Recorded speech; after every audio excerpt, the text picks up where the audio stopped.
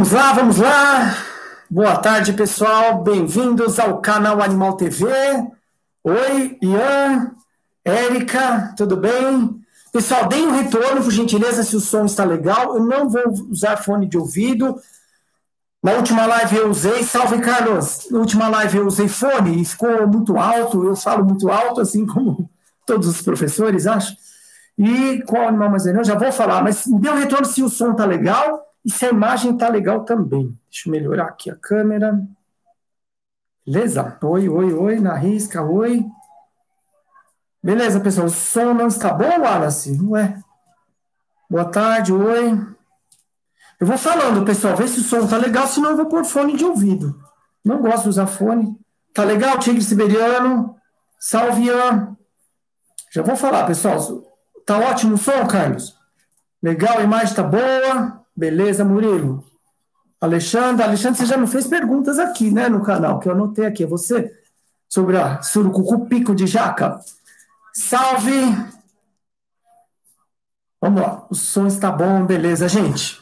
Primeiramente, uma boa tarde, um grande abraço para todos vocês. Estamos mais com mais uma live aqui no nosso canal. Eu falo nosso porque o canal é de vocês. Vocês que sugerem bichos, sugerem temas, notícias que eu coloco no Notícia Animal. Então, o canal é de vocês, né?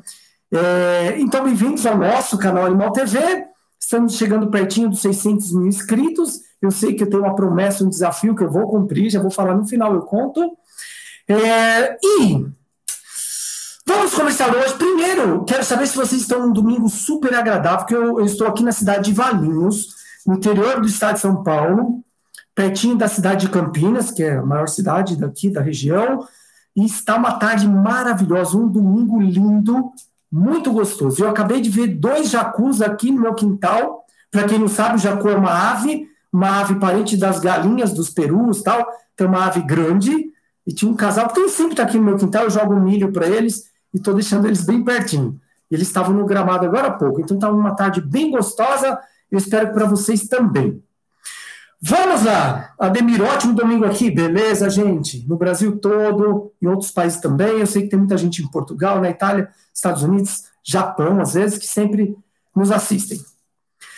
Bom, essa semana foi bastante polêmica, né? Desde a semana passada, por causa do, do rapaz lá em, no Distrito Federal, que tomou uma picada de da Naja, né? De uma cobra que ele tinha em casa tal. Eu até fiz Notícia Animal da segunda passada, é segunda dessa semana, falando sobre isso, sobre a cobra naja, né, uma cobra que é diferenciada das serpentes brasileiras, vamos falar sobre isso.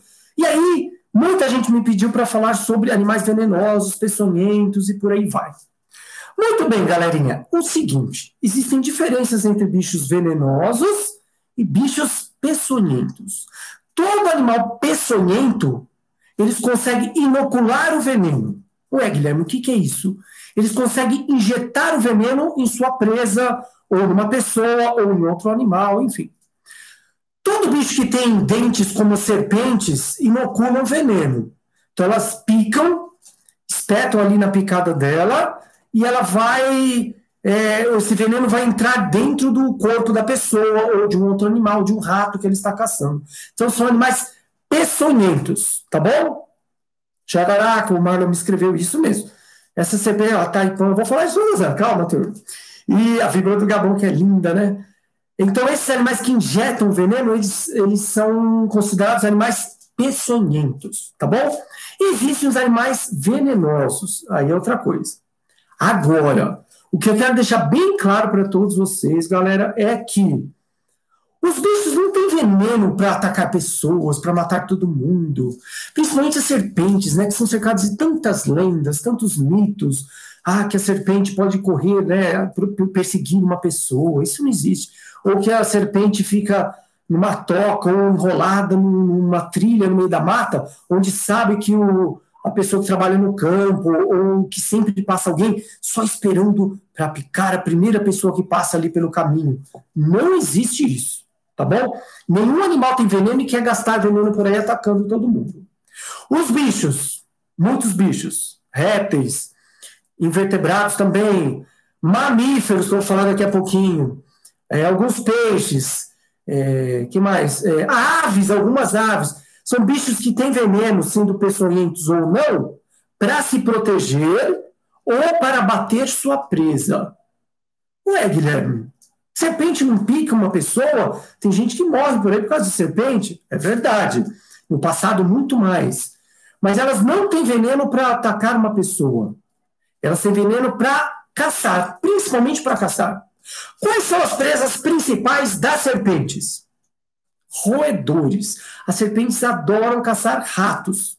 Há algumas espécies que são arborícolas, ou seja, que vivem nas árvores, como a cobra papagaio, que não tem veneno, na verdade, mas algumas serpentes vivem nas, aves, nas árvores, elas caçam passarinhos, outras nadam e pescam, gostam de comer peixes, mas a grande maioria comem mamíferos, e principalmente mamíferos pequenos, que são os roedores, na maioria das vezes, tá bom? Como que uma serpente vai caçar? Por duas formas. Ou as serpentes que mordem, enrodilham, que a gente fala numa presa, no rato, por exemplo, e sufocam essa presa para engolir depois, é a forma dela bater sua presa, ou com veneno. Então, uma jiboia tem veneno? Não. Uma sucuri, que é chamada de anaconda também, tem veneno? Não. Cobra papagaio, que eu falei agora? Não. A salamanta, que é, né, que é a, a jiboia arco-íris, tem veneno? Não. É, inclusive, a jiboia e a jiboia arco-íris, é, existe autorização para comprar de lugar, lugares legalizados que você pode ter em casa. Então, são serpentes que não têm veneno. A nage, igual o rapaz tinha em Brasília, tem veneno? Sim. Tem autorização para criar e ter essa cobra em casa? Não nenhuma cobra venenosa, nem, não existe autorização para nenhuma cobra venenosa, tá? Não existe. Somente para algumas espécies de cobras não venenosas. Beleza? No Brasil, vamos lá, já falar das serpentes brasileiras. A Ilha das Cobras, e Wallace. Naja do Cabo tal. Vamos lá. Serpentes brasileiras que têm veneno. O grupo das jararacas. Ah, então tem a jararaca verdadeira, a caiçaca, a, a urutu cruzeiro, que é uma serpente linda, a jararacuçu, que é outra serpente que eu adoro, muito bonita. Todas essas bótropes, nome popular, no nome científico, aliás, no gênero, bótropes, todas elas têm veneno. Todas elas. Então, no Brasil, as jararacas e todas essas que eu citei agora, as cascavéis, que são famosas também, é, que mais? A surucucu pico de jaca, que, uma, que é uma serpente rara de ser vista, mas muito bonita, inclusive, que fica enorme, com dois metros de comprimento, que tem veneno, e as corais verdadeiras. Ah, Guilherme, mas tem coral falsa? Tem sim. Então, o grupinho é das grande, né? Até das corais, tem várias espécies, todas elas com cores bem chamativas, com vermelho, preto e branco. Tal. Tem algumas até toda preta, mas no Brasil todas elas têm esse padrão de desenhos bem chamativos, de cores bem quentes que nós chamamos, né? cores vivas, assim. Mas das corais, somente as verdadeiras. Vejam como essas corais são malandras. Algumas que não têm veneno, elas tentam imitar as que têm veneno para espantar predadores. Olha que legal. Então, as não venenosas, corais não venenosas, que não têm veneno, elas ficam com cores, elas têm cores parecidas com as que têm veneno. Assim, se um pássaro, um mamífero, algum animal vai ver aquela cobra e fala: opa, essa cor é chamativa, vermelha, preto e branco, pode ter veneno. Eu vou cair fora, vou sair daqui, porque senão eu vou dançar, né? Ela vai me morder. Então ela imita uma serpente que tem, tem veneno. É o mimetismo que a gente fala. Mas sim, tem os grupinhos das corais que tem veneno, um veneno muito potente. Muito bem. Mas, Guilherme, todas essas serpentes aí brasileiras que você falou agora têm veneno e todas elas causam acidentes com pessoas no Brasil? Sim. Mas a grande maioria é com o grupo das jararacas. Então, muitos acidentes, mais de 90% dos acidentes no Brasil são com jararacas, jararacuçu, urutu, todas essas cobras do grupinho aí das jararacas, tá bom? maioria dos acidentes. Tem acidentes também com corais, com cascavéis, com surucucus, pico de jaca e pouquíssimos acidentes com corais. Sabe por quê? O dente, os dentes das corais que podem morder ali, ferir a pessoa, onde vai é, passar o veneno ali na corrente sanguínea da pessoa ou de outro animal, eles ficam mais para o fundo da boca. Então é mais difícil de ter um, ter um acidente. E as corais, em geral, tanto as falsas, né, as que não têm veneno, como as verdadeiras, são animais bem tranquilos. Eu já vi pessoas, mas não façam isso, pegando o coral na mão, coral verdadeira, e ela ficou bem tranquila. Diferente de cascavel, diferente de jararaca, que são, principalmente jararaca, que é uma cobra mais agitada e pode e causa muitos acidentes com pessoas. Tá bom? Legal? Como diferenciar uma coral verdadeira por uma coral falsa? Difícil, eu não vou explicar aqui. Sabe por quê? Algumas, algumas espécies têm diferenças bem sutis, diferenças mínimas. E eu já vi gente experiente errar. Falar, ah, eu acho que essa não é verdadeira ou é, não sei, e aí abrindo a boca e vendo o dente falou, é verdadeira. É uma cobra que tem, uma coral que tem veneno. Então é difícil de falar em padrão de cores e tal. Em geral, elas têm olhos menores, as, as que têm veneno e tal, mas é difícil de falar, tá bom? Isso aí, o legal é a gente respeitar, a cobra não corre atrás de ninguém, como eu falei. Bom, então essas são as corais que existem no Brasil. Vamos lá.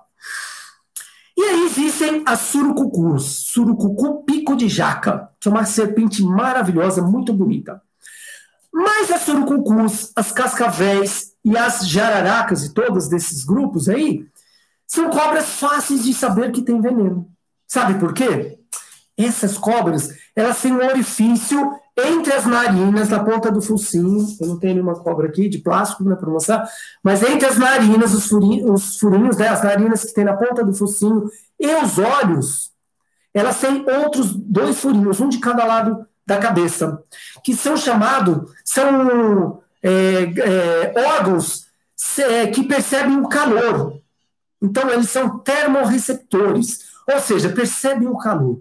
Mais ou menos quem já assistiu o filme Predador, que o predador ele fica invisível lá no filme e ele percebe a pessoa com uma cor diferente, né, uma imagem diferente, porque ele percebe o calor. Essas cobras têm esses órgãos, esses furinhos, é, chamados de fossetas loreais, que percebem o calor. Olha que evolução bacana desses grupos de serpentes. Muito legal. Então, no escuro, um rato que tem sangue quente passa por ali, a jararaca, a cascavel, o surucucu, com esses furinhos ela percebe o calor daquele rato e onde ele está andando. Vejam que evolução legal nesse grupo de animais. No interior afora, muitos caboclos lá chamam cobra de, de quatro ventas. Ventas seriam o quê? As, as narinas. Como elas, elas têm as narinas da ponta do focinho, os dois furinhos, mais dois furinhos, que são as focetas loreais, as pessoas pelo interior afora chamam, chamam de cobras de quatro ventas. Mas não são, não são para respirar, não. Ali é só mesmo para sentir o perceber o calor, a presença dos seus predadores e suas presas também. Legal, né? Muito bacana.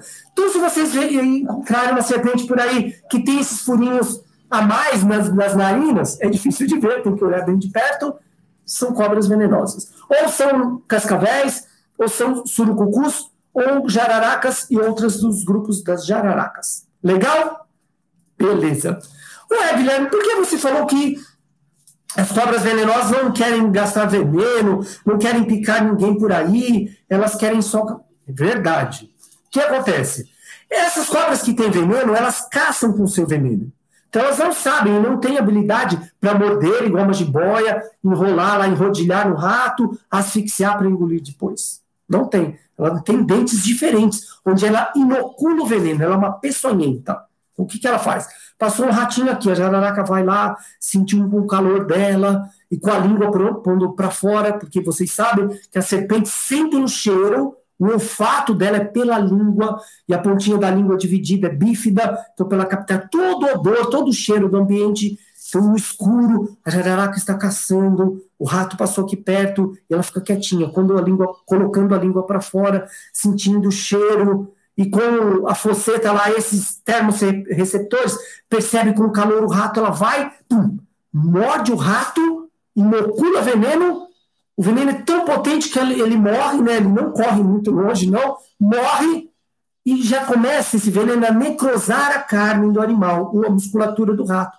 Por quê? Já começa a digestão que seria na barriguinha de qualquer outro animal, já fora do corpo. Por isso que quando tem um acidente com uma pessoa, uma jararaca, uma cascavel, uma surucucu mordeu a pessoa na perna, ali começa a ter uma necrose, começa a ficar roxo, e ali a pele começa a necrosar Porque para um rato, quando ela vai comer, já começa uma digestão fora do corpo, ela começa a necrosar aquele alimento que ela vai engolir depois. Tá bom? Ótimo! Então, nenhuma cobra quer morder pessoas, ela pode se assustar e morder uma pessoa. Ah, eu estou caminhando no meio da mata, tal. Sempre que eu, como biólogo, meus amigos que trabalham em campo, trabalham na mata, eles usam o quê? Ou um coturno de couro, que é uma bota grande que vai até o joelho, ou uma bota menor, que eu prefiro até com uma perneira, que nós chamamos, que coloca em volta de toda, da tíbia, né, da canela até o joelho, é, de couro bem duro, resistente. Porque se tiver uma mordida, a grande maioria dos acidentes com cobras é para baixo da, do, do joelho para baixo, no tornozelo, na canela, na batata da perna, tá bom? É, e aí, tendo essas proteções, os acidentes não acontecem, tá bom? Beleza? Vamos lá. O que foi, meu assistente de palco? Não, que o chat estava aparecendo para mim, eu estava vendo, mas Vamos é lá. Mim. Então, tá Vamos lá, então, é, elas não querem morder, mas se você passa numa trilha e tal, a jararaquinha está enrolada ali, escondidinha, você pisou perto dela ou em cima dela, ela vai morder. Ela fica assustada e morde. Mordeu, inoculou veneno, ela já quer sair correndo, quer ir embora. A pessoa sente dor tal. Quando a pessoa foi, foi, for picada por uma serpente brasileira, uma jararaca, uma cascavel, uma surucucu ou uma coral verdadeira, ela tem que procurar rapidamente um hospital, um lugar de atendimento, no caso de São Paulo, o Instituto Butantan, enfim, onde tem hospitais com soro contra o veneno. Eles vão ter que, a pessoa vai ter que tomar esse soro. Ah, existem lendas aí que se a pessoa tomar cachaça, se tomar um pouquinho de querosene, eu já ouvi cada coisa se tomar choque no lugar da picada, se fizer um torniquete, vocês sabem o que é isso? Por exemplo, tomei uma picada na mão, aí ai, começa a necrose, uma dor muito forte, inchaço, eu amarro aqui com uma borracha, com uma câmera de pneu, ou com um pedaço de pano, ou com um cinto, aperto bem para o sangue não circular, não vir no coração. Está errado. Errado. Nunca façam assim. Não, não façam isso, tá bom? Tomou a picada? Vai para o hospital. Lava ali com água e sabão, água corrente, só. E hospital, só isso. Nada de choque, beber alguma coisa. Ah, vou esperar para ver se entrou na corrente sanguínea. Não, hospital. Tá legal? Ah, uma cobra que eu acho que não é venenosa me mordeu. É, uma caninana me mordeu. Quer ir para o hospital? Sim, vai para o hospital. Porque na dúvida, às vezes você não sabe que cobra que é. Se conseguir tirar uma foto da cobra, ótimo. E vai para o hospital. Porque às vezes pode ter ali é uma, uma inflamação local, alguma coisa assim. O legal é ir lavar direitinho no hospital. Tá bom? Falei tudo de cobras brasileiras? Aliás, dá para fazer um tema de live aqui só de lendas e mitos sobre serpentes, né? Vem uma ideia agora na minha cabeça. Se vocês gostarem, a gente pode fazer só sobre cobras, as maiores, se engole pessoas e tudo mais. A gente pode falar sobre isso, né? Vamos lá. E no mundo todo? Muita gente falando da Naja. Vou falar agora. Eric, tudo bem? Mamba Negro, Guilherme Leal, a víbora do Gabão, né? O Carlos, que é uma serpente maravilhosa. A Naja, vamos lá. As Najas, olha, pessoal, para começar assim, falar sobre as Najas, é... no Brasil, nós falamos cobras ou serpentes. São sinônimos, ou seja, você pode usar tanto cobra para uma jiboia, para uma cascavel, para uma jaraca, ou serpente para uma cobra, sem problema, tá? Ou tem gente que fala é, ofídio, algumas regiões do Brasil, tudo bem, não tem problema. São sinônimos essas palavras. No Brasil nós podemos usar. Em inglês, é usado o termo cobra para as najas, somente para as najas. Na Austrália eles falam cobra, né? Uma, é, tem um sotaque diferenciado do inglês, do britânico, né? Mas cobra para as najas, snake para as outras serpentes. Então eles separam os grupos. Para nós, nós chamamos najas. As najas são cobras que elas levantam uma parte do corpo, em geral elas abrem aqui a parte do pescoço, que nós chamamos de capelo ou capuz, tanto faz. Abre aquela parte do pescoço, para quê? Para parecer maior e para assustar um, um animal, um predador que chega perto dela, ou uma pessoa. Então ela consegue erguer abrir o capelo, o capuz, como eu falei, eu prefiro falar capelo, abre o capelo e ela fica às vezes dando um bote no ar e às vezes bufando, soltando o ar dos pulmões. Barulho forte para espantar, porque a Naja, assim como as serpentes brasileiras, não querem gastar seu veneno por aí. A naja é venenosa, é venenosa, mas ela não quer gastar veneno. Ela usa o veneno para caçar ratos, para se alimentar. A mesma coisa que eu falei para vocês agora das serpentes brasileiras. Tá legal? Beleza. Algumas no grupo das, das najas, elas conseguem cuspir o veneno. Então, com os dentes inoculadores, os dentes dessas serpentes parecem parece com, uma com uma agulha de injeção, quando a gente vai tomar injeção, que é horrível, né? uma, uma vacina, que tem que tomar todas as vacinas. Aliás, deixem suas carteirinhas de vacina em dia, pessoal, mesmo adulto. Eu, no final do ano passado, tomei todas as vacinas que eu estava desatualizado, então, antitetânica, eu, é, que mais que eu tinha desatualizado? A febre amarela, eu tomei tudo certinho, hein, pessoal? Pode doer um pouquinho, mas tem que tomar a vacina e deixar a carteirinha de vacinação em dia, todo mundo. Ou pega no pé do papai e da mamãe também. Então, a injeção que a gente toma a vacina é uma agulha que tem um buraquinho, né? O furinho para sair o líquido lá, o fármaco, né? A injeção, a vacina. O dente da serpente também tem um furinho, né? Para sair o veneno. A naja tem isso. E a, o grupo das najas cuspideiras, elas levantam o corpo, abrem o cabelo e fica tentando espantar uma pessoa. Vamos imaginar que uma pessoa ou um animal. Uma pessoa. E ela, ela consegue cuspir o veneno na pessoa. Por quê? Para espantar a pessoa ou atingir os olhos. Ah, se vai nos olhos e a pessoa não curar, não lavar, né? pode ficar cega? Pode, depende da análise, quantidade de veneno também, depende muito, mas tem, é, pode causar um grande problema na visão, tá bom? E aí ela pode morder também. Diferentemente de, de um grande grupo de serpentes, do mundo todo, inclusive do Brasil, ela não dá bote. Então ela não faz aquele S no pescoço, fica enroladinha como uma cascavel, que ela faz como se fosse a letra S no pescoço, para dar o bote, a jararaca, a surucucu e várias outras serpentes. A Naja não consegue fazer isso. Por isso que ela levanta e fica naquela posição. Naquela posição em pé, ela vai alcançar um animal da, daquele tamanho que ela está em pé. Se for uma naja menor, daquele tamanho que está em pé, do pescoço dela lá para cima, até a cabeça aberta, lá com o, o cabelo aberto. Então é por isso que ela faz desse jeito. Ela levanta para dar o bote desse jeito. Ela não consegue formar o, bote com a letra S. É uma, uma, uma maneira bem diferente de ela atacar, injetar seu veneno e tudo mais. As najas são venenosas? Muito venenosas. Muito, muito, muito. Ah, Guilherme, todo mundo me perguntou aqui no canal, lá no meu Instagram, me perguntaram bastante qual a serpente mais venenosa do mundo. Eu fiz um vídeo há um tempo atrás sobre isso, depois vocês podem assistir lá com mais detalhes.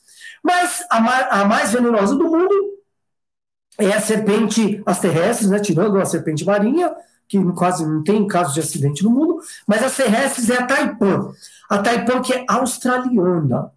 A Austrália tem bichos bem diferentes, inclusive as serpentes venenosas. Podem ver depois no meu ranking lá que eu coloquei de serpentes venenosas. Tem a taipã do interior da Austrália, não do litoral, que ela tem um veneno muito potente.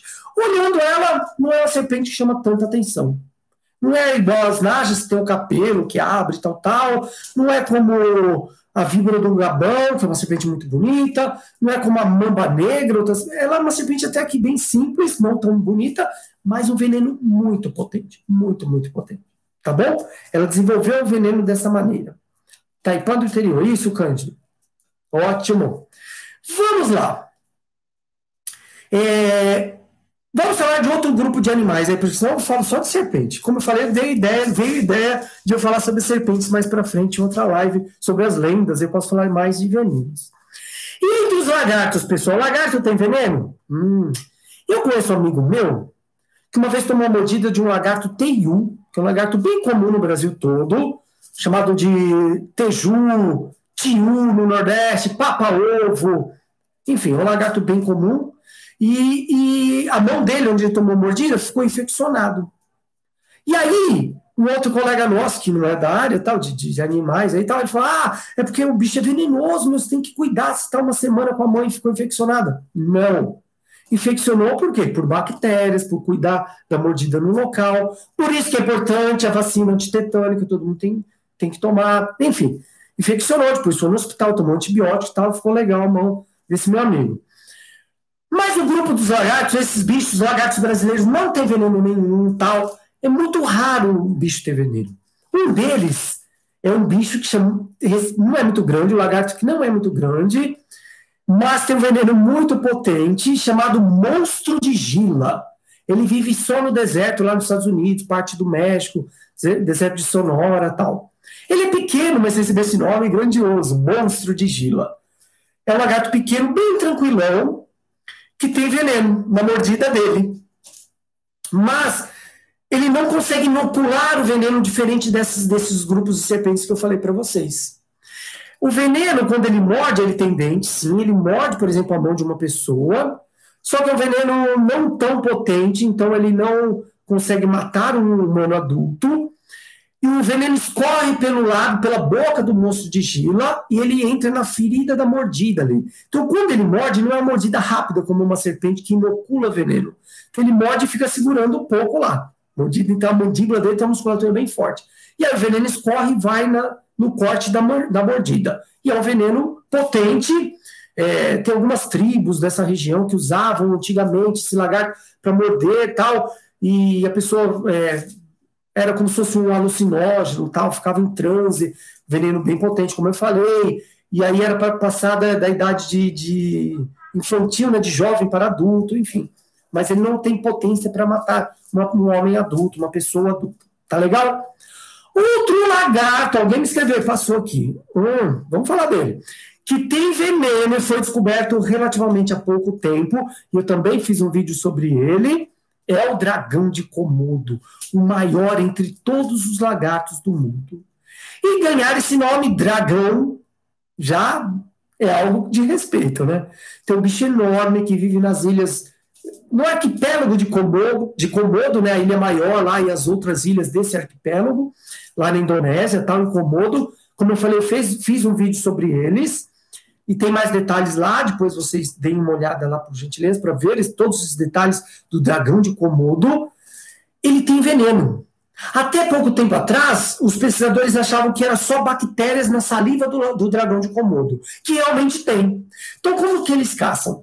O dragão de Komodo vê um búfalo, outros animais que vivem na, nessas ilhas, ele vai lá, tal, morde, e aquela baba que ele tem, a saliva dele, tem muitas bactérias, e essas bactérias se proliferam, né? É, tem muitas bactérias porque ele come só carne, fica restinhos, pedacinhos de carne entre os dentes do dragão de Komodo que, que proliferam, né? Que faz uma criação de bactérias na boca dele, fica na saliva. Então, quando ele morde a perna de um búfalo, de outro animal, o animal sai correndo. O dragão corre, mas nem tanto. Só que a ferida começa a infeccionar, infeccionar e o bicho morre de infecção generalizada. Aí o dragão e outros dragões vão lá e eles repartem esse alimento, porque eles são animais carnívoros. Mas, como eu falei, foi descoberto também que ele tem veneno. Mas do mesmo jeito do monstro de Gila, ele não consegue inocular veneno. Ele morde, além da saliva com bactérias, o veneno vai por glândulas que tem nos lábios lá do, do nos lábios, na, parte interna dos lábios, na gengiva dele, a glândula do veneno escorre e vai até a ferida, o corte que ele fez com a mordida. E aí a, a, o animal ou a pessoa vai, pode até morrer envenenado e com infecção também. Então, lagartos não são tantos como as serpentes, mas tem veneno bem potente também. Legal? Beleza até aqui, pessoal? Quantas perguntas? Que ótimo! Mamíferos e aves venenosas? Tem sim, vou falar agora. Sapos também, vou falar dos anfíbios, cascavel. A cascavel, Ronaldo Vinícius perguntou, cascavel. O Raul Camargo, cascavel. Todo mundo gosta de cascavel, pelo jeito, hein? Muito bem. A cascavel, vamos lá, falar rapidinho de cascavel. Elas vivem em várias regiões das Américas, estão na América do Norte, lá nos desertos americanos, no México, e vem até a América do Sul, aqui no Brasil também. Na minha opinião, Guilherme Domenichelli, biólogo, é uma das serpentes mais lindas do mundo. Eu acho a cascavel fantástica, o desenho dela, o corpo, ela é robusta, ela tem aquele chocalho na ponta da cauda, então a cara dela, assim, os olhos, eu acho uma serpente muito bonita. Não é colorida, mas é muito bonita. Ela prefere áreas mais secas do Brasil, com mais rochas para se esconder em tocas tal, não é de mata, como a jararaca, por exemplo. E é uma serpente muito bonita. E a, e a não gosta de gastar o veneno, assim como eu falei de outras serpentes. Então ela tem um chocalho na ponta da cauda, chamado de guizo, é porque ela balança aquilo para avisar se alguém chega perto. Então ela balança, faz o barulho, a pessoa, o animal vê e cai fora. Então ela guarda o veneno dela. E outra coisa que me perguntaram em várias escolas, quando eu vou visitar as escolas com os meus livros, aliás, quando alguém, alguma escola quiser adotar algum dos meus livros, tenho quatro livros publicados, é, eu faço a visita do autor, né, um dia de, de visita para comentar sobre o livro que as crianças estão trabalhando e lendo. Já me perguntaram muito se a serpente mordeu, ela picou, gastou veneno do, da, da bolsinha de veneno que eu falo para as crianças, né? A glândula de veneno. Não tem mais veneno? Tem sim. Por quê? É uma glândula. Então, qualquer serpente do mundo todo, ela, é uma naja ou uma jararaca, ela tem uma glândula que fabrica veneno. Então, ela morde, inoculou veneno no, no animal, tem menos veneno na glândula, sim, mas ela consegue morder, inocular de novo, inocular, inocular, inocular. Lógico que tem menos veneno ali.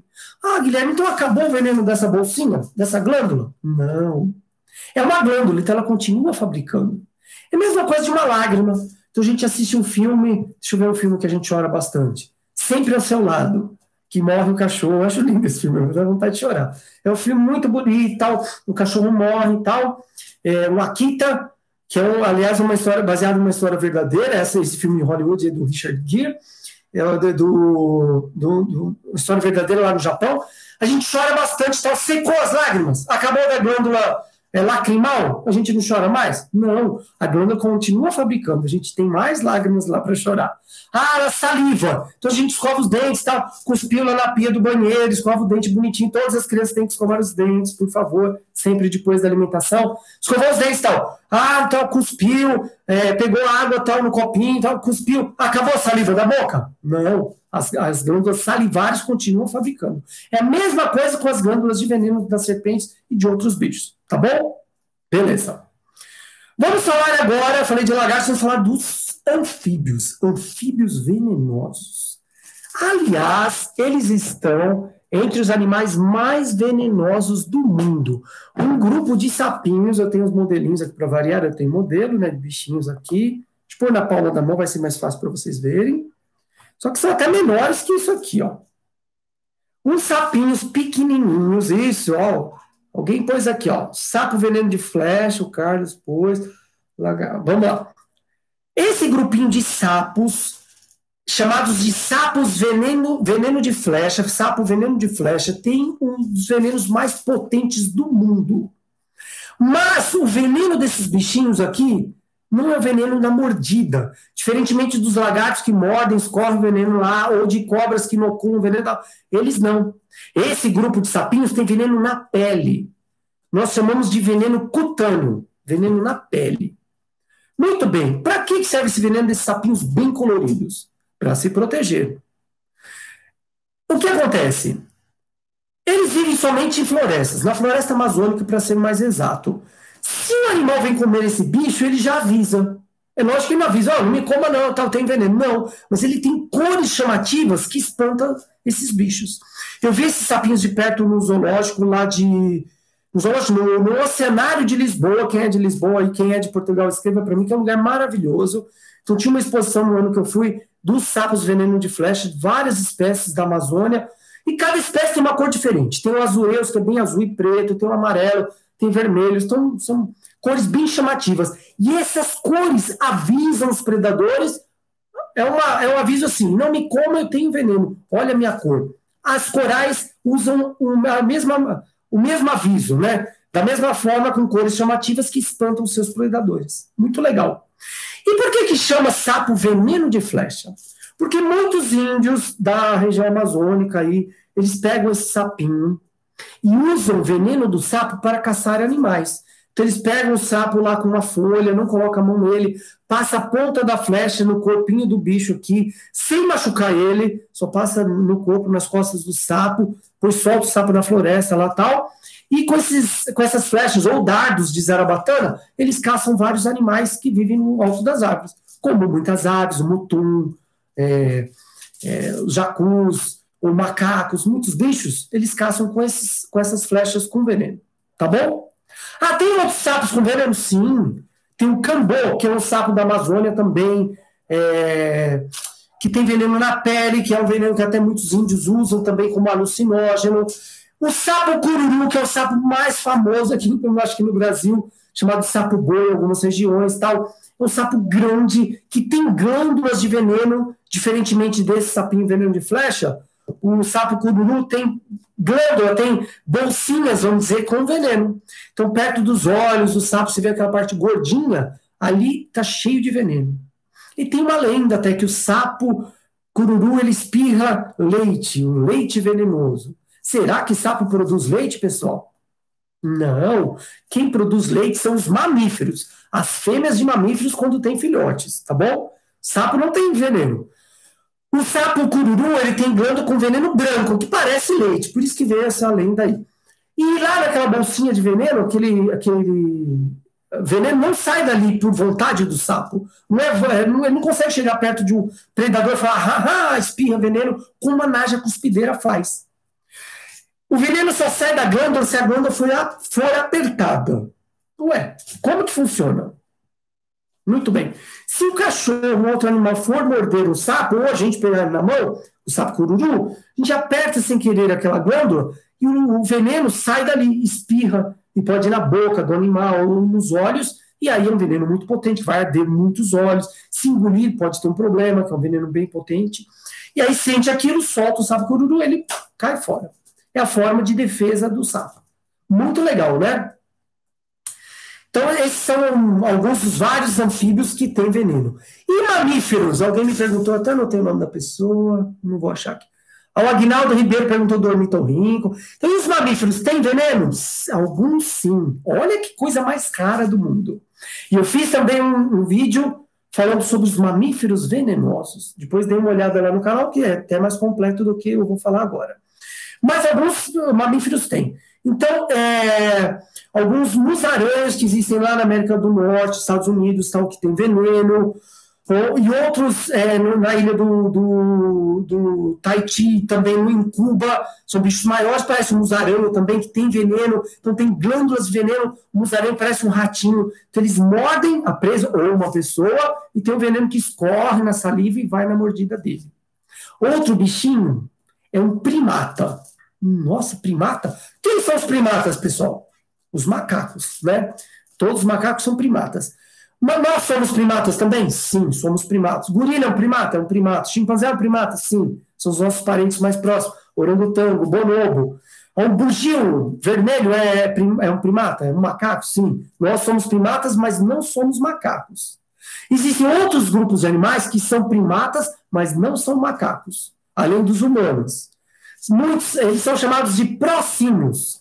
Por exemplo, os gálagos, os lores, o aiai, que é um bicho bem diferente. É, lores, existe um grupo de aves, que parente dos papagaios, a piscitacídeos, são chamados de lores. Mas tem uns próximos, primata, que são chamados de lores também. Tem um bush babe lá, o, o, o gálago, né, que é um bicho pequenininho com olhos grandes, que é um bicho noturno também, são próximos. Eles são primatas, mas não são macacos. E uma espécie de lores, ele tem veneno. Aliás, é um bichinho que é muito usado no tráfico, na, na, na Ásia e em outros países e tal. Ele é tirado da floresta e vendido como animal de estimação. E, muito, e eles estão ameaçados de extinção. Vejam lá no meu canal falando sobre eles. E eles têm glândulas nos braços que tem veneno, produzem veneno. Ele lambe essa glândula. Quando a saliva do, do Lores entra em contato com, com a glândula, ela o veneno é ativado e ele espalha esse veneno no corpo todo. Então ele fica com veneno no corpo, no, nos pelos desse bichinho, desse próximo, desse primatinho aí chamado Loris, um bicho bem bonitinho. Peraí, parece uma pegadinha, né? Se é um bicho usado no tráfico como animal de estimação e tem veneno, como é que a pessoa tem ele em casa? Ah, é um bicho que produz veneno, tem veneno somente na natureza. Sabe por quê? porque ele come vários alimentos que nós nem sabemos direito quais, e que o organismo dele consegue produzir e fabricar o veneno nessa glândula, nessas glândulas nos braços. Em cativeiro, em zoológico, comendo frutas, insetos, tal, algumas coisas assim, ele não consegue produzir veneno. Tá bom? Muita gente fala que as, os sapinhos veneno de flecha, que tem zoológicos, como eu falei que eu vi no cenário de Lisboa, ele não consegue também em cativeiro produzir esse veneno, porque ele come algumas formigas na floresta amazônica que produz o veneno na pele dele. Muito legal, né? Qual outro mamífero que tem veneno? Como o Aguinaldo. Aguinaldo perguntou para mim? O Aguinaldo Ribeiro perguntou para mim, e muita gente está falando aqui. Ah, cadê, cadê? Muito bem. Vamos lá. O ornitorrinco, que é um mamífero também, como esses bichinhos que eu falei agora, o lores e os, os musaranhos. É um mamífero também que só vive lá na Austrália. É um mamífero bem diferente, né, pessoal? Porque ele é do grupo dos monotremados. O que, que é isso? Mamíferos que botam ovos. Então existe a, a equidna, parece um pouco espinho grandão, mas é, é, é, um bicho diferente, que bota ovo. E o ornitorrinco também bota ovo. O ornitorrinco parece uma mistura de animais. Ele tem um bico de pato, tem pezinhos com membranas interdigitais, parece de pato. Ele tem, ele é mamífero, tem pelos a mamãe produz leite, o filhote nasce de ovo, bem diferente, e os machos de ornitorrinco têm esporões nas patinhas de trás, esporões como se fosse de galo, quem vai ver um galo no quintal vai ver que ele tem o pezinho, né, e na perninha dele, lá no tarso, né, ele tem esporão, uma espora, o ornitorrinco tem aquilo lá só com uma espora com veneno, tem glândula de veneno ali. Uma, uma, um veneno bem forte, bem potente, que não tem poder para matar uma pessoa adulta. Se for uma criança muito jovem, pode ser, mas um adulto não. E, mas ele tem veneno ali para se proteger. Tá bom? Veneno bem forte, bem potente. Baiacu. Ah, tô falando baiacu bastante aqui, a Raquel falou. Minha mulher me falou agora, eu já vou falar dos peixes. Baiacu tem mesmo, veneno muito potente. Mas vamos lá. O ornitorrinco tem, é o último dos mamíferos que eu vou falar para vocês, que tem veneno, tem esse esporão com glândulas de veneno. Tá legal? Ah, vamos lá, peixe-pedra, é isso mesmo. Dos peixes, vamos lá, pessoal, falar de peixes. O peixe-pedra, como muita gente está me escrevendo, José pôs agora, Finland pôs agora o peixe-pedra, e o Ginzando pôs peixe-pedra. Nossa, quanta gente falando, Ronaldo Vinícius, peixe-pedra, usando peixe-pedra. Finland Ball, peixe-pedra, isso mesmo, pessoal. Peixe-pedra tem um veneno, o José Antônio da Silva, peixe-pedra. O Baiacu também, o Guilherme Leal falando aqui para mim. O Carlos falou do peixe-leão, verdade. Carlos Fernando Silva, peixe-leão, verdade. Fernando, vamos lá. O peixe-pedra é um peixe que tem um veneno bem potente, pessoal, bem potente. É um veneno é, que ele consegue paralisar até uma pessoa da potência que tem esse veneno. Ele é chamado de peixe-pedra porque ele, ele, se camufla, não é um mimetismo, não imita o animal, mas ele, ele usa camuflagem para se esconder e se camuflar no meio do Recife, no meio das rochas. Pode ocorrer na beira mais da praia, mas sempre em costão rochoso, não em área de areia. E ele tem um veneno muito potente. Né, um dos peixes mais venenosos do mundo. O peixe-leão, que vocês estão me falando, a Ivanise falou agora, o peixe-leão também. As arraias, vou falar daqui a pouco, bem lembrado, João. O Edson também, as arraias, né, verdade, João. É, o peixe-leão é um peixe utilizado em aquário, no aquarismo, um peixe muito bonito. Ele tem veneno também. E é um peixe que está. Ele foi introduzido no Caribe, algumas regiões do Caribe, ele não é dessa região. Então, muita gente tem aquários, soltou esses peixes aí, e eles chegaram até o norte do Amazonas, aqui na América do Sul. E ele como é um peixe que devora outros peixinhos. Então, introdução de espécie é um grande problema. Ele é venenoso, um peixe perigoso, sabe? Mas é muito bonito e usado em aquarismo. Quem tem bichos aqui assim, em aquário ou em cativeiro, não pode soltar por aí. Eles podem é, se alastrar, como eu já contei para vocês de outras espécies, javalis, já falei bastante disso. Então, o peixe-leão pode ser um grande problema, pessoal. Ele é venenoso também, e o baiacu também, que muita gente põe. O baiacu, ele tem uma glândula de veneno, aliás, o baiacu é utilizado até na, na alimentação, né? Muita gente faz pratos exóticos com baiacu e até uma carne crua, sashimi, lá o sushi e tal, de, de baiacu. Só que a pessoa, né, o sushi ele tem que ser muito bom para retirar a, a glândula de veneno do baiacu, que é um veneno muito potente. Eles deixam até um pouquinho para deixar a boca dormente, mas é um peixe bem. Ele se protege de duas formas. Esse veneno é uma delas e outra ele inchando bastante. Acho que tem um desenho, um dos desenhos do Nemo que aparece o baiacu, que ele incha bastante o corpo, né, enche de, é, de ar tal, e ele consegue espantar seus predadores parecendo maior do que ele realmente é. O Ronaldo está perguntando aqui das arraias, ou muita gente lembrando das arraias, que são peixes também, peixes cartilaginosos, assim como os tubarões. Aliás, as arraias são bem parentes, bem próximas dos tubarões, e elas têm veneno. A raia de água doce e a raia marinha também. O uma, nos anos, quando foi isso? 2006, se não me engano, pessoal, o caçador de crocodilos, que é o Steve Irving, australiano, que o zoológico lá na Austrália e tal. Agora tem a família Irving, né, que trabalha falando de bichos e tudo mais. Ele é chamado de caçador de crocodilos, ele veio isso do pai dele, tal, Bob Irving. Ele era um cara que chegava perto de Naja, pegava na mão muitos bichos, tal, o que é errado, né, pessoal? Você não pode ter acidente. Mas, enfim, ele mergulhou uma vez, a última, é, último mergulho dele, né, porque ele foi pegar uma raia na mão, no fundo do oceano, ela virou e ferrou bem no peito dele e matou o Steve Irving, esse caçador de crocodilos. Então, as arraias, elas têm um ferrão muito potente. As de água doce da Amazônia tal, elas também têm um ferrão muito forte, um veneno bem potente que dizem que faz o homem dos mais corajosos chorar, que é um veneno bem forte, bem potente. Como eu falei, as arraias são parentes dos tubarões, são peixes cartilaginosos. Legal? Isso. Quem mais estão perguntando? Ah, Russembol perguntou, o Steve Irving morreu no dia que você nasceu. Aves venenosas, legal, Rafael, lembrou aqui, eu já ia esquecendo, ó. Eu anotei, eu anotei na sequência, agora cadê? Ó, o Príncipe das Aves também. Bom, Fiz um vídeo já um tempo atrás sobre as aves venenosas do mundo. Ave venenosa? Muito diferente, né? A gente vê papagaios, eu falei de jacuza agora para vocês, pardal, sabiá, tá uma ave com veneno. Verdade. Um grupinho da Nova Guiné, das pitói, que são umas aves bem diferentes. Aliás, uma das espécies parece uma ave nossa, parece o corrupião, corrupião que é chamado de sofrer também no Nordeste, uma ave linda, eu acho uma das aves mais lindas do nosso Nordeste da caatinga em várias regiões, que é amarela, laranja e preta, é um bicho muito bonito, assim como o galo da Campina, que é outra ave que eu gosto bastante, que também é do nosso Nordeste brasileiro. Ela tem, essa daí parece o corpião lá da Nova Guiné, é uma ave que tem veneno. E o veneno é, fica na pele e nas penas dessa ave. Só que é para que serve? Para se proteger também.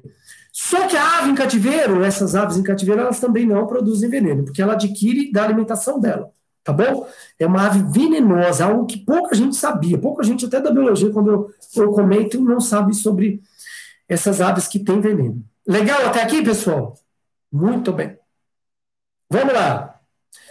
Vamos falar de outros bichos, é polvo, viva negra, tá bom. Os escorpiões, a gente fala que aranhas, grupo dos aracnídeos, vamos ver se não dá reflexo, tem um vidro aqui, ó. Então, vendo esse escorpião aqui que eu tenho, vou tentar deixar de uma maneira que não dê reflexo. Todo escorpião tem veneno? Todos eles. Alguns, algumas espécies com veneno mais potente, outras espécies com venenos não tão potentes. Esse aqui, por exemplo, é, ele está aqui fixado, tá? é um de, de museu, mas é um escorpião que não tem um veneno tão potente. Como que ele inocula veneno? Ele consegue inocular a peçonha com o aguilhão que nós chamamos da pontinha da cauda dele. Vamos ver se vocês conseguem ver aqui na câmera. Vou virar de lado para não dar reflexo. Ele tem o aguilhão com a glândula de veneno. Então, veneno bem potente dos escorpiões. No Brasil, principalmente o escorpião amarelo e o escorpião marrom. É um veneno muito. Esse aqui é o preto, isso mesmo, o Cândido, o J. Cândido. Ó, é um veneno muito potente de, do marrom e do amarelo no Brasil? Sim. Existe até soro para esses esses escorpiões, esse que tem veneno o marrom e amarelo aqui no Brasil, então, e outro da Amazônia, tem o escorpião do Nordeste também, que tem veneno potente. Existia um surto assim, uma população grande de escorpiões há poucos anos atrás, ainda tem algumas cidades, principalmente até aqui no interior de São Paulo, de Minas também, estava lastrando por aí. Por quê? Os escorpiões são bichos noturnos. Pessoal, muita gente fala para mim, ah, só tem uma galinha em casa que ela pega o escorpião. Não é bem assim, pessoal. Escorpião é um animal noturno, ele sai à noite. Durante o dia, ele fica escondido em frestas de, de, de rocha. Ah, a pessoa tem na casa restos de construção, então vários pilhas de tijolos acumuladas, pilhas né, de madeira acumulada, telhas. Ah, eu guardo lá, ou senão até lixo. Já vi cada, cada lugar terrível. Que o escorpião fica ali sim. Então ele vai caçar baratas, a barata vive lá de restos de comida, esconde nessas frestas também. Se tem barata, pode ter escorpião. Olha que coisa, é a cadeia alimentar. Ah, adianta ter uma galinha se o escorpião é noturno e a galinha dorme à noite? Não, nunca vai se encontrar. É a mesma coisa que fizeram na ilha de Fernando de Noronha. Né? Tinha muito rato, muitos ratos numa época lá. Algum esperto falou: ah, leva lagarto TU e solta lá que eles caçam todos os ratos. Tá bom, o lagarteio caça um rato se ele encontrar. Só que o lagarteio fica acordado durante o dia. É um bicho diurno e dorme à noite. O rato, ao contrário. Então encheu de, de lagarteio que começou a comer ovos de aves marinhas. Então não é assim tão simples, pessoal. Então não é tendo galinha, é limpando direito sua casa, não tendo entulho, não tendo resto de comida espalhado e tal. Galinha pode ajudar sim, lógico que ajuda, principalmente galinha de Angola, o pessoal fala. Tudo bem, pode ajudar, mas não é a solução. Tem que ter a casa bem limpinha, bem escondida, sem restos de entulhos, de, de obra de casa, não. Tá bom? Legal. Esse aqui é grandão, como eu falei, não é um veneno tão potente. Existe até maiores que esse, várias espécies pelo mundo afora, mas no Brasil são esses que eu mencionei para vocês, tá bom? Entre as aranhas. Eu tenho aranha aqui, só de plástico, lógico. Entre as aranhas. Aranhas são venenosas? Sim, todas elas. Nossa, até aquela papa-mosca pequenininha que tem em casa, às vezes, tal. Papa-mosca tem veneno? Tem. Se picar, vai ter problema? Não, o máximo ali inchar um pouquinho, coçar, não tem problema. No Brasil, as aranhas com, aranha, com um veneno tão potente assim que pode ter alguma importância médica que nós falamos. Quais são? É, aranha marrom, que é pequenininha. Aranha, uma, a viúva negra, que é preta, com a bundinha aqui, ó, o cefalotórax, aqui o abdômen dela, é vermelhinho, uma, uma pinta vermelha embaixo, tem um veneno potente, e a armadeira, que no inglês é chamado de banana spider, que ela ocorre muito em, em bananeiras, tal, em, em plantações de banana, bananal, né? Então ela fica ali, então muitas pessoas que pegam às vezes o cacho, o, o agricultor vai lá e corta o cacho de banana, joga nas costas para levar no caminhão em algum lugar, na picape, lá tal. Às vezes a aranha está ali, a armadeira pica o pescoço da pessoa pode ter um problema. Mais próximo ali do a corrente sanguínea, que é muito vascularizado tal, pode ter um problema. Diferente de picar ali no, no, na mão da pessoa ou no pé, bem diferente. Por que, que ela chama armadeira? Porque quando você chega perto, ela, ela se arma, ela levanta assim as patinhas da frente tal, mostra ali as quelíceras dela, né, que ela tem embaixo dela, onde ela inocula o veneno, e aí para espantar também. Eu encontrei no meu quintal há pouco tempo como eu falei, estou aqui em Valinhos, uma área de, de como, como se fosse uma chácara, um condomínio grande, assim, tal, que tem bastante mata. E aí eu encontrei uma aqui perto, no meu quintal, na verdade, né? Aí eu peguei num balde com a vassoura, despontei para dentro do balde, tampei, levei para a mata, soltei, sem problema nenhum. Diferente do que mostra muitos filmes, muitas lendas com as aranhas. Ela corre atrás. Tem um filme chamado, já meio antigo, eu pus isso. Eu fiz, acho que um, um vídeo Fiz tanto vídeo, já não lembro. Da armadeira não, mas fiz sobre. Qual aranha que eu já fiz? Fiz sobre caranguejeira, que tem veneno, mas não é potente. E falei do, desse filme, que é Aracnofobia. Então, um filme dos anos 90, que mostra a aranha correndo atrás da pessoa, pica, vai lá em outra, mata uma pessoa tal. Elas não têm veneno tão forte como serpentes, mas é um veneno importante. Principalmente dessas três: viúva negra, no Brasil. Aranha marrom, pequenininha, e armadeira. Tá legal? São areias. Areia, ah, o cara escreveu areia pavão? Não, areia pavão. Ela é areia que é da Austrália, escrevi, fiz um vídeo sobre elas há pouco tempo. Ah, o Cândido da Vespa Asiática, bem lembrado. Eu ia esquecer. Tá passando a nossa live voando. Deixa eu pegar minha Vespa Asiática aqui. De plástico. Meu modelinho de Vespa. Muito bem. Vespa Asiática, chamada também de Vespa Assassina, tem um veneno bem potente e tal, tal. Elas vivem no Japão. Eu fiz um vídeo sobre elas também, galerinha. Depois vocês dão uma olhada lá.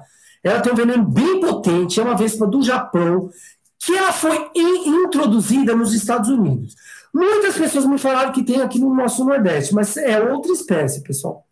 A vespa assassina, a vespa é, mandarina, ela é do Japão e tem, foram identificadas e introduzidas nos Estados Unidos em algumas regiões. É uma vespa que tem um veneno forte? Sim. Pode até matar uma pessoa? Sim. Nossa, uma vespinha mata uma pessoa? Não. Mas elas nunca estão sozinhas. Assim como as abelhas comuns.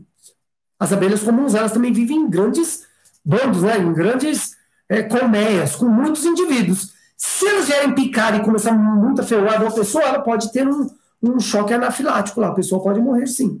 Aliás, as abelhas, abelha africana, a abelha europeia africanizada, que no Brasil e nas Américas, são dos animais que mais causam acidentes e matam pessoas. Porque grandes enxames, né, grandes grupos de abelhas. É a mesma coisa com a vespa assassina a vespa mandarina, lá do, do Japão, que tem agora nos Estados Unidos. Tá bom? Vespa com um veneno muito, muito forte. Legal, pessoal? Estou um pouco rouco hoje, desculpa. Deixa eu beber água aqui. O que mais? Vamos lá.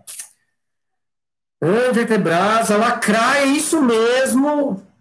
O, o Elick Souza falou da lacraia. As lacraias têm veneno sim. Vamos diferenciar as lacraias dos piolhos de cobra, sintopeias, que são outros bichos com nomes populares, na verdade, mas lacraia tem veneno sim. Tem uma lacraia que é chamada popularmente de lacraia de fogo, tem um veneno bem forte, não mata uma pessoa, mas a picada incha, dói bastante, tem uma dor muito, muito forte.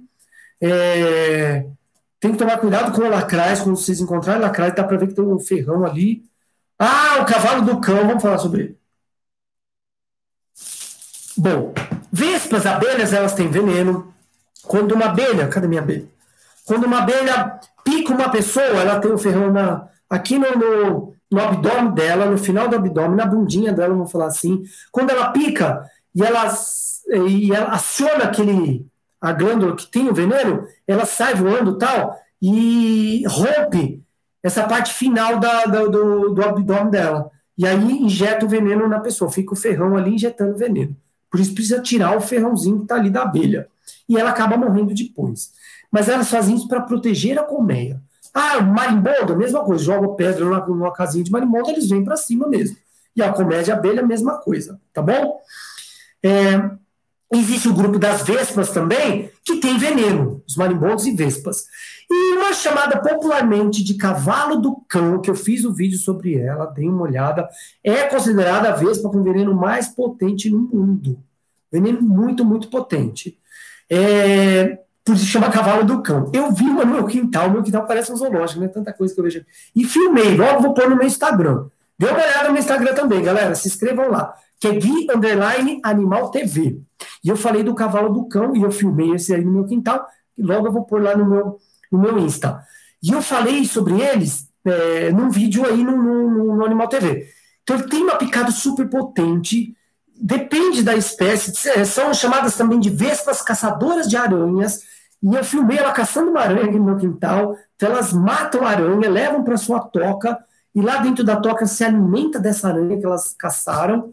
São chamados de cavalo do cão, caçadora de, de aranhas, ou vespa 24 horas em algumas regiões do Brasil. Então, muito legal esse bicho.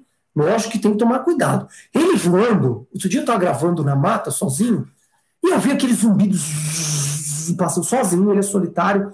Passou, parece um Boeing, né? Grandão, preto, né, voando. Eu fui, putz, o cavalo do cão, né? Passou, eu fiquei parado. Se viesse, o único jeito ia dar uma palmada nele. Mas passou voando e você vê que o bicho está caçando mesmo. É um bicho que assusta. Ele tem uma picada muito, muito forte, tá bom? Vamos lá. A Vespa do Mar, legal, Fernando. Me lembrou aí. Outra coisa, ó, tem muita gente perguntando da mamba negra. Vou falar. Formiga Cabo Verde também, que tem uma picada muito forte. Formiga, formiga. Vamos lá. Vamos primeiro é, a, vespa, a vespa do mar, que é um molusco. Então, uma, eu tenho a concha, não está aqui comigo, está na minha casa em São Paulo, mas ele tem um veneno muito potente, que é tido como o veneno mais potente do mundo, junto com o sapinho veneno de flecha. Há uma discussão sobre isso. Então tem essa esse molusco, que tem uma concha bem bonita, né? Eu faço coleção de conchas, acho que vocês já viram em alguns vídeos que eu mostro, no, no cenário atrás, né? que eu tenho uma coleção de conchas. Eu tenho sobre esse conus, o gênero desse molusco, dessas, desse invertebrado, desse molusco, que tem um veneno muito, muito potente, que pode matar uma pessoa. Então é lá da região do Pacífico, veneno bem potente no molusco, olha que diferente. Lembrando que moluscos são invertebrados, não têm ossos, e são os bichos parentes das lesmas, caracóis, dos povos e lunas, que são moluscos também. Você falou, ah, vamos lá, não entrar muitos detalhes. Cabo Verde, Cabo, Cavalo do Cão, falei agora. Muita gente perguntou da Mamba Negra. Antes de acabar a live, putz, já está acabando. Vamos lá. Mamba Negra é uma serpente africana, que eu já fiz vídeo sobre ela também, dei uma olhada depois no canal Animal TV. Serpente linda, fica enorme, com dois metros de comprimento, ela tem a coloração cinza. Existe a mamba verde também, que eu já vi no zoológico da Alemanha. A mamba negra é cinza e ela recebeu o nome de mamba negra, porque a boca, o interior da boca dela é todo preto. É uma serpente muito rápida, é tida como a serpente mais rápida do mundo, que é cercada de muitas lendas, que ela corre atrás das pessoas. Tem uma lenda na África que ela entrou numa aldeia quando as pessoas estavam dormindo, entrou na casa da, de, de, uma família, mordeu o pai, a mãe, os filhos, matou todo mundo. Entrou em outra cabana da aldeia, matou o pai, a mãe, as crianças, saiu matando todo mundo. Que é lenda, né? Nenhuma cobra faz isso. Como eu disse, ela não gasta veneno à toa. Mas é uma serpente rápida, bem ágil. Por isso que ela é tida como uma serpente muito perigosa. Veneno é potente, é um dos mais potentes no mundo. Eu, eu fiz o ranking no vídeo. Mas não é a mais como a taipã. Mas é um veneno bem potente, sim. Tá? Uma serpente muito bonita com veneno bem poderoso. Outra que o pessoal me escreveu aqui é a. Qual que vocês puseram? É a víbora do Gabão, que eu acho também, junto com as cascavéis, das serpentes mais lindas do mundo. A víbora do Gabão que é da região da África. Uma serpente que fica com uma espessura do corpo bem grosso, bem, né, bem taluda, assim, ela fica um bicho bem grossão, cabeça bem triangular, e é uma, uma cobra rara hoje em dia, porque ela foi muito caçada para ser vendida para traficantes de animais para ter em casa. Não sei se no Brasil existe, o tráfico chegou uma, uma víbora do Gabão, mas nos Estados Unidos certamente. Que lá em vários estados, são leis estaduais, muitas pessoas têm tem serpente em casa, né? Inclusive serpentes venenosas como a víbora do Gabão. Uma serpente linda. Eu já vi de perto e é um bicho maravilhoso, maravilhoso, bicho muito bonito. Víbora de Russell também, ah, me puseram víbora de. Abraço de Portugal. Nice, um beijo no coração. Maria Rita de Portugal. Caravela portuguesa. Legal! Olha, eu esqueci. Não dá tempo de falar tudo, né? De animais venenosos e, e peçonhentos. A gente faz um, uma outra live sobre isso. A caravela portuguesa é também uma água viva. São bichos venenosos? Sim. Por que é chamado de caravela portuguesa? Na época da, da, da colonização do, do, é, dos, dos, europeus, né, desbravando todo mundo, eles usavam navios, chamados de caravelas. Né? Os italianos, os portugueses, ingleses, franceses usavam as caravelas. Os portugueses descobriram várias regiões do mundo todo, inclusive o Brasil e tal usaram as caravelas. Esse animal é um invertebrado, né? Eles, eles, ele possui essa é, uma parte fora da água que parece o leme, né, as velas de uma caravela, por isso que é chamado de caravela portuguesa. E tem os tentáculos desse bicho que ficam dentro da água, com glândulas com veneno nos tentáculos. Então, quando uma pessoa encontra na praia, encalhada, aquela parte da caravela portuguesa tem, é bem colorida, bem bonito, ali não tem problema de pôr a mão. Mas não coloquem na dúvida, por favor. Os tentáculos que tem o, as glândulas lá, onde conseguem inocular o veneno. E é por ali que eles caçam peixes. E a água-viva é a mesma coisa. E a água-viva ela consegue se mover, inclusive, diferente da caravela portuguesa, que aproveita a maré, a direção do vento, para se locomover nos oceanos. A água-viva não, ela consegue fazer movimentos e se locomover. E pode causar acidentes sérios. E aí tem lendas também com esses bichos. Quando a pessoa é queimada com, as, com, as, com a parte lá do, do que queima realmente, que inocula o veneno, né, que na pele da pessoa, fala que passar água doce, ou vinagre, ou urina, ali onde foi queimado, onde, onde o veneno entrou em contato com a pele humana, vai ajudar. Balela, tem que ir para o hospital. É o único jeito, é o correto de, de se fazer, tá bom? Vamos lá, mais coisas aí. Dinossauros não é hoje não, Rafael. Vou fazer logo, logo com meu amigo paleontólogo Ariel Martini sobre dinossauros. Se a gente escolhe só dos, do Cretáceo, Jurássico, só dos filmes, a gente pode escolher. Vamos lá. Povo de Anéis Azuis, legal, Ian. Muito bem lembrado. Tatura, muito. Ó, oh, o José falou de taturana, lagarta de fogo. Puta, ótimo. Existe uma espécie, a lagarta de fogo, que é uma espécie de taturana. A taturana, para vocês saberem o que é, as borboletas, os lepidópteros, que são as borboletas e mariposas, elas têm estágios diferentes de desenvolvimento. Então tem a parte de ovo, então a borboletinha vai lá, coloca o ovo numa folha, ou coloca os ovos na parede. Eu sempre que eu vejo, eu preservo, deixo ali os ovinhos. Nasce uma larva, que é chamada de taturana, é, mandrová, depende da região do Brasil. Essa larvinha, muitas vezes ataca plantações, depende, pode ser praga. Ela nesse estágio de larva, ela come muito, por isso pode ser praga. Então ela vai nas folhas, é vegetariana, né, começa a comer bastante e tal. Depois ela vira um casulo, e se transforma novamente ou numa mariposa ou numa borboleta, dependendo da espécie de borboleta. Tem várias cores diferentes. Eu estou com uma camiseta de borboleta aqui, olha lá, Museu de História Natural de Nova York. Então eu adoro esses bichos aí.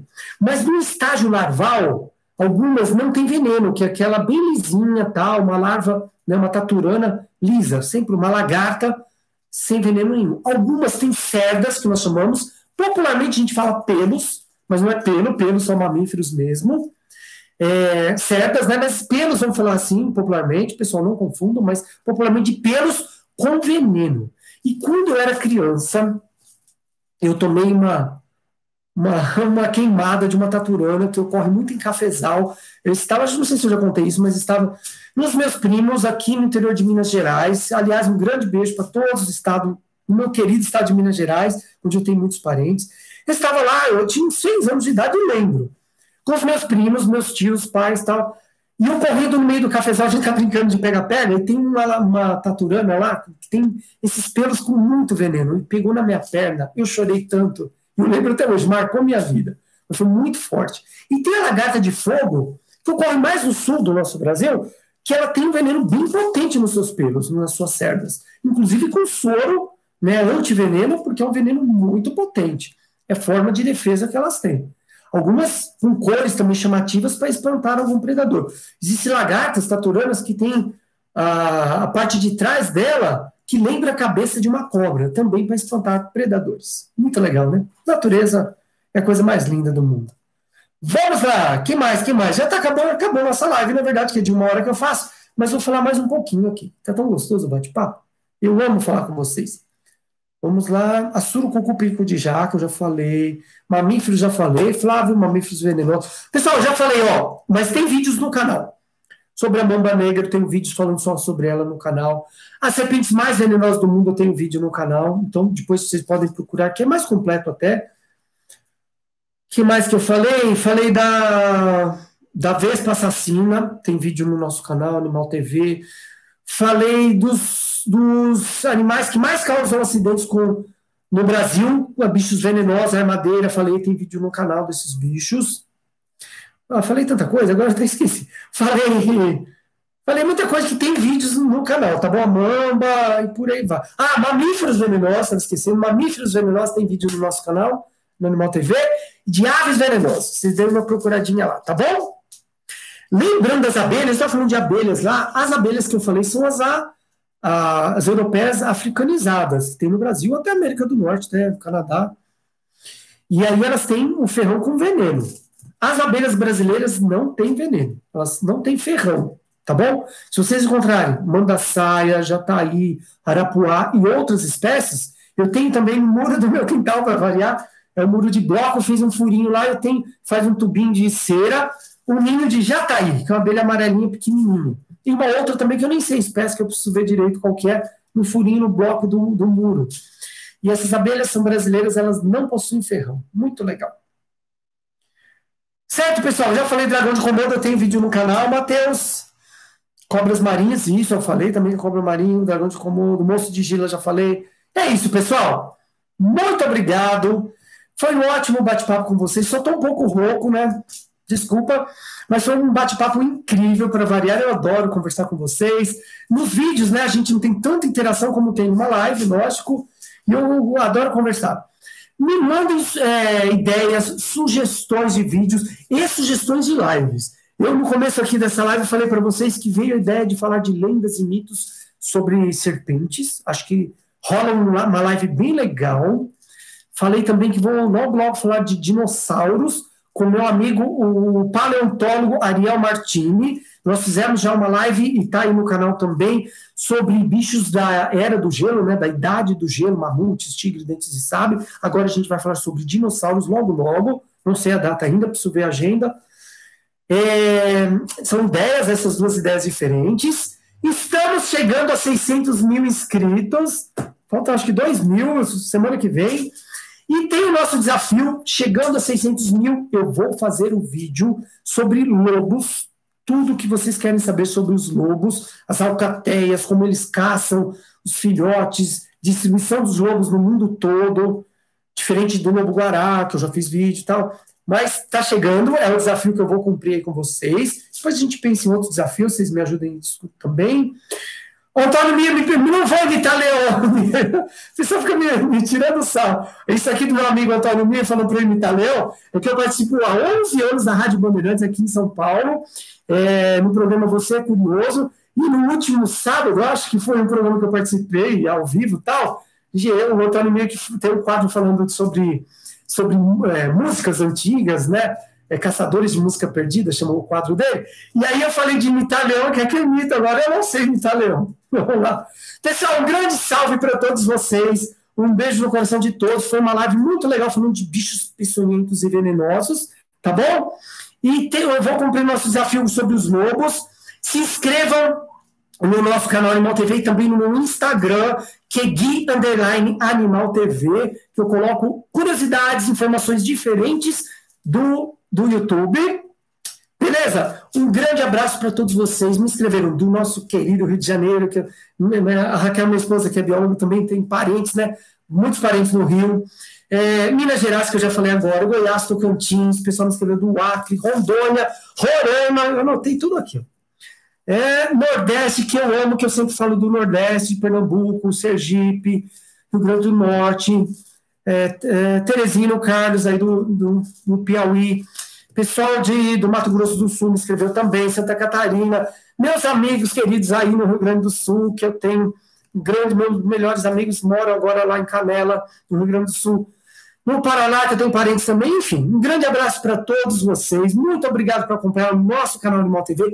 Fiquem de olho que essa semana tem vários vídeos diferentes. O Notícia Animal, que eu vou falar do menino que tomou a mordida de um cachorro com 90 pontos no rosto. Vou contar esse caso lá nos Estados Unidos e outras notícias aí no quadro Notícia Animal e várias aí, ó, Pernambuco, Bahia, querida Bahia, Manaus, grande amassos manauaras todos.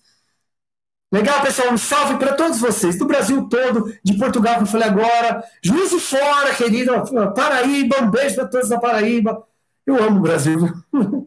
Fala a verdade, nosso Brasil é tão bonito. Tocantins, João, um grande abraço. Guilherme Léo da Paraíba, Salve, Cauã, um salve para você. Eric, um salve. Ricardo, um salve.